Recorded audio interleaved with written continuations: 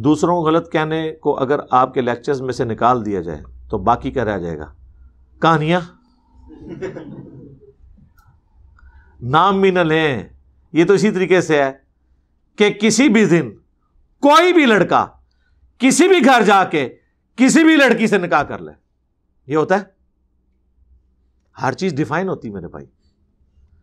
तो जब तक आप नहीं अनिल मुनकर नहीं करेंगे कुरान ने सिर्फ़ ये नहीं कहा कि आपने अमर बिल मारूफ करना है, नहीं, अनिल मुनकर भी करना है।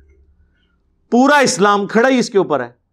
आप मुझे बताएँ, अगर इस्लाम से यहूदो, नसारा बुत प्रस्त और एथियस्ट, मुनकरीन खुदा को कंडेम करना निकाल दिया जाए तो कुरान में क्या रह जाएगा?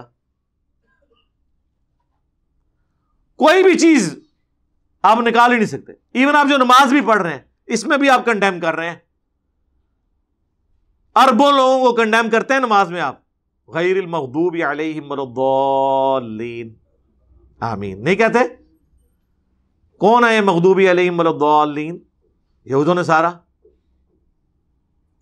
और उनसे बड़े वो, कि जो यहूदों ने सारा तो नहीं, लेकिन मुसलमानों के मेंबर पे चढ़ के कहते हैं, कुरान, हदीस डायरेक्टली पढ़ना गुमराह हो जाओगे। यही बात को यहूदी आपको कहे, कुरान नहीं पढ़ना गुमराह हो जाओगे। आप कहेंगे, सर, तन से जुदा। कहेंगे ना कि तू इस्लाम का और अल्लाह का दुश्मन है, इसलिए मुझे कुरान नहीं पढ़ने दे रहा। और बल्कि उसको आप कहेंगे कि मैं तेरी तारीफ़ शुदा किताबें पढ़ूं, मैं अल्लाह की किताब ना पढ़ूं।